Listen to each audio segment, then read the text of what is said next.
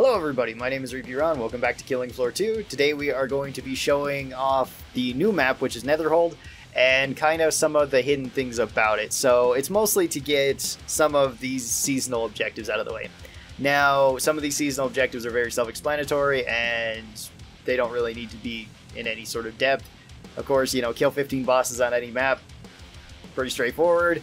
Uh, survive 15 waves on Endless, harder, higher on the new map, pretty straightforward as well and then of course do the weekly on the new map. Pretty self-explanatory, but I wouldn't recommend doing it with the new weekly that was added, the Abandon All Hope, because that mode is actually pretty difficult, and this is not a great map to be doing it on. I'd recommend a much larger open map, something like Nuked, Spillway, Steam Fortress, somewhere where you actually have a lot of room to maneuver. Um, and even then, it's still going to be rather difficult.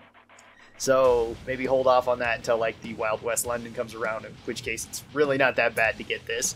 But the main two that we're going to be talking about is I'm Hearing Heartbeats, which is find the Nether Heart. I'll show you where to do that.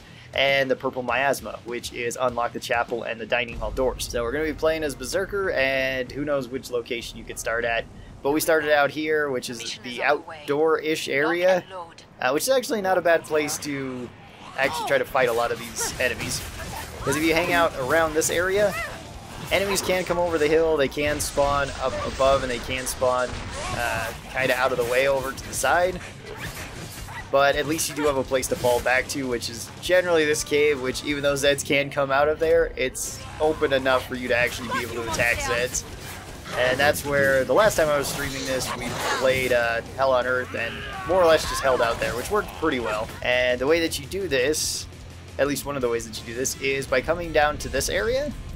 You can see the big old brimstone down below and the uh, organs above, I guess, where one of the traders is. This vent is what you need to break. And it can be kind of tricky as to where you need to hit it. This teleports you to this room once you break through. Uh, I consider this like the hunting room. And this will open up those doors that you've seen outside. This is also a room that can spawn weapons, so right here, I just found a Road Redeemer. Uh, this can spawn tier 2 and tier 3 weapons. I have gotten lucky and found things like kaboom sticks here, which is really cool, um, as well as a couple other weapons. But it opens up it's this door, which allows you to circle back around, and it makes the uh, area a bit better to maneuver, because otherwise this door's closed to you. You can also go in here. And any of the walls that glow purple like this, you can actually break which can also have weapons in them, and these can also spawn potentially tier 2 weapons, like this 1911. So you can get some really good weapons early on. The other doors that we need to open are these ones.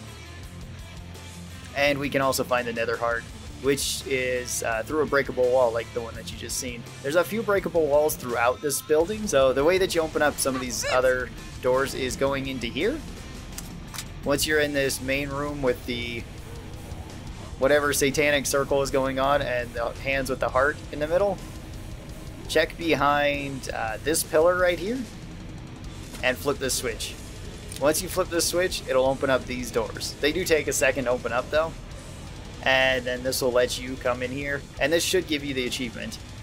So there's usually ammo in here. And once again, tier 2 weapons can be spawned in here as well.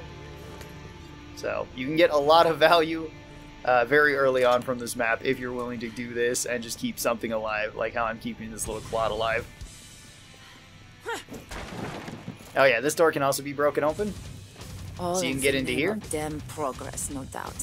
and you can also break that door open, so you can create this way, this walkway. This is actually a really good place to be too, because you have this long hallway here, and then this area is not as good, but it's okay when trying to survive. New weapons can also spawn, even uh, strange weapons like the cock and burn, apparently. I haven't actually seen that on here before. And they usually respawn during the match, which is kind of useful. Now, if you want to find the Nether Heart, you have to find uh, this room, the tentacle room, the hentai room, whatever it is, and go over to this wall. As you can see, it's breakable. You break it open, you walk in here, and you see the heart. This counts for you finding the heart. There can also be weapons that spawn right there. Uh, usually I've only found tier 1 weapons, like shotgun, medic pistol, stuff like that. Nothing crazy. And I have found at least one more breakable wall downstairs, which is, um, well, let me try to find it. It's right here. This wall you can break open, which leads to this wall, which is also Sometimes I wish I breakable, leading out. Time to play. Hang on. This guy's still trying to beat me up. And this wall is also breakable, which goes underneath the stairs to this main room. So this wall is also breakable. So you can kind of maneuver your way around here. Those are all the breakable walls that I found, and this got me all the achievements. Uh, I actually did this when I was on stream, so somebody else did it, and then I just kind of had to figure this out because I didn't actually see them do half of this stuff. So thank you guys so very much for watching this. I really do appreciate it. Uh, if you guys have any further questions, feel free to leave them down in the comments below. I'd love to hear them. And if you guys would like to see more of my videos, be sure that you're subscribed. That way you get notifications whenever I post them. Special thanks to all of the supporters of the channel. I really do appreciate that. These are my members here on YouTube, my patrons over on Patreon. If you'd like to be part of that, links down in the description below. They get early access to videos like this. And if you'd like to see my other killing floor guides, tips, videos, whatever, check over here on this list. That'll give you uh, a good place to start. Thanks, and I'll talk to you next time. Bye!